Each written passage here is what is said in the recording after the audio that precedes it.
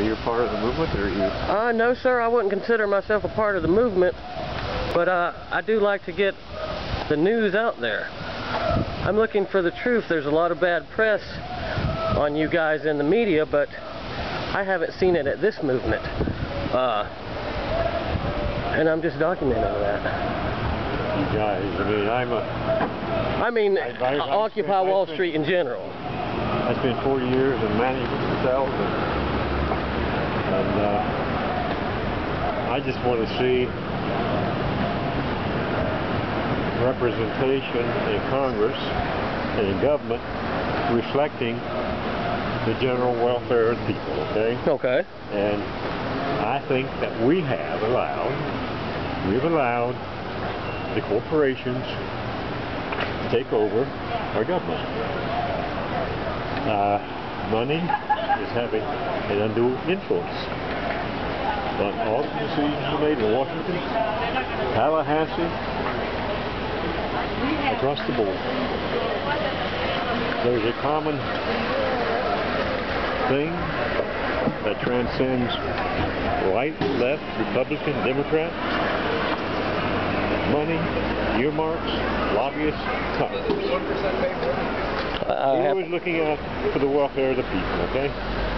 That's what I, that's what this thing is, has got to be about. That's what transcends all this petty bullshit that we're going out. I noticed you were one of the ones that objected to the anarchy sign.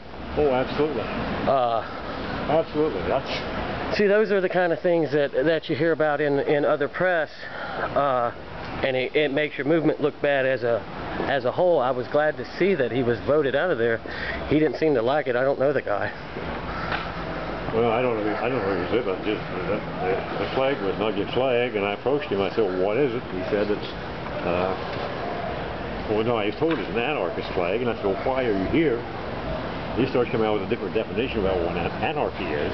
Right. I don't know. I, well, to me, it's lawlessness. It's Pretty much. with authority, and we're not for that. We just want change. And how do We you? want our Constitution to be in effect. Well, as an individual, how do you think it's the best way to go about to bring about this change? What we're doing. I mean, do you I think it's making a difference? I, I think people, uh, the ultimate wisdom of the principles that our, uh, that our, our Constitution is based on will shine through, will manifest itself. I think it did in Ohio this week. It is another uh, uh, through this movement, hopefully through this movement. I think that's why that a lot of us saw what was happening a while ago are still out there going. Right. Have you thought about roller skates? oh boy.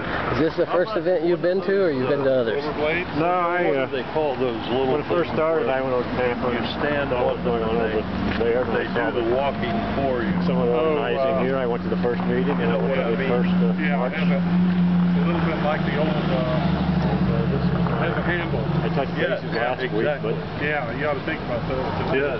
this is the The first thing is, general is assembly I've been to since, since the thing got started.